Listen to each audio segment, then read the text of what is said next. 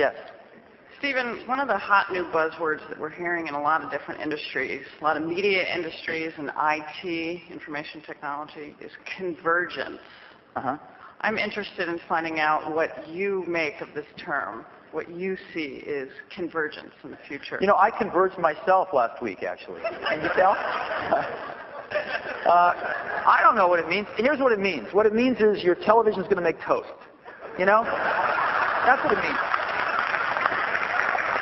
So, I don't know what these people, look, what is the most successful consumer product in the last 10 years?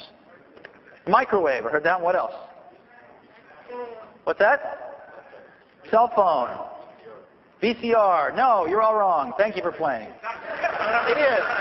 It's the PC.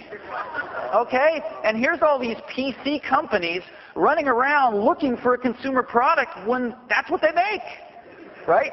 Now, Dell doesn't. They sell into corporate America mostly. But some other people do. Compaq does. Hewlett Packard does. Packard Bell does. Of course, Apple does.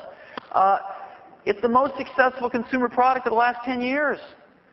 So naturally, we want to combine it with the television. See, I've spent enough time now in entertainment with, with, with Pixar and working with Disney, who's just a terrific company to work with, by the way, um, is that people go to their television primarily to turn their brain off. You know, I used to think, like many of you maybe might used to think, uh, might have thought, that, um, that, that there was this giant conspiracy of the networks to put mediocrity on television and dumb us down, right? Did you ever think that? I thought that. I thought it was a giant conspiracy to rob the American uh, populace of their, their mind, if not their soul. But I, I then found out the truth, which is far more depressing.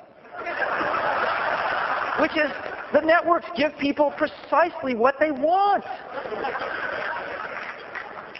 And the reason people want this stuff is they come home from a long day.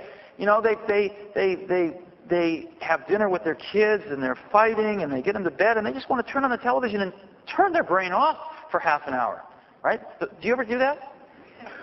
I mean, I must admit, I don't watch much TV, but I do that every once in a while. After a long, hard day, I will turn on the TV for half an hour, and it really does turn your brain off. And so people go to their TV to turn their brain off for the most part. People go to their PC to turn their brain on. These things aren't going to be together. They perform completely different functions. So I think it's, it's about as crazy as, as other kinds of combinations that you can imagine. And I don't think it's going to happen. You know? I also think people want to interact with their computers a lot more. Keyboards, mice, up close, better resolutions. They want to sit back from their television sets. You know, web TV has been an utter failure so far. So I just don't see it happening. Now, sure, everybody would like a better online TV guide. Okay.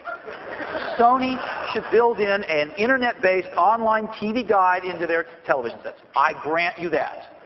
But is this digital convergence?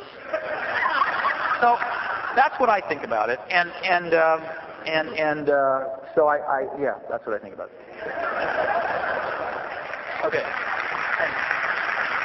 Yes.